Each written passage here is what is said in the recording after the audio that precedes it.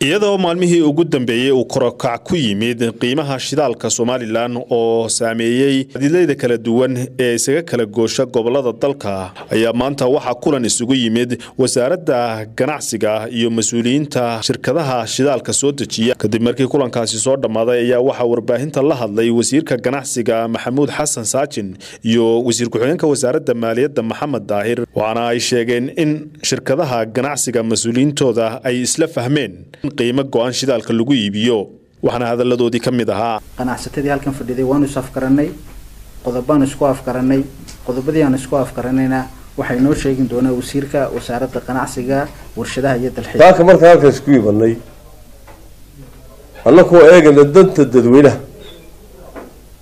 Si waa si fiican baan u wada hadalnay waxaa meesha ku jiray laba shay kordhin ay kordhiyeen dadka shidaalka keena.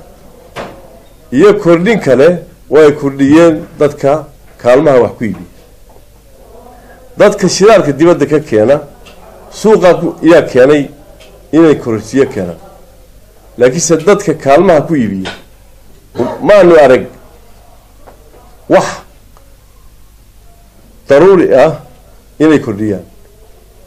Iyaga nafaantooda kororsiintoodii waxaan idhi wax ka tanaasula waxaan meesha ka saaraynaa kordhinta dadka kaalmaha wax ku iibiya ay kordhiyeene cusub. Naaftada waxaa lagu iibin karaa toddoba kun iyo laba boqol kor uma dhaafi karto. Oo shilin somaliland batroolkuna sideed kun iyo laba boqol kor uma dhaafi karo halkii maalmahan lagaga iibinayey naaftada toddoba kun iyo shan boqol. Shidaalkana lagaga iibinayey sideed kun iyo shan boqol.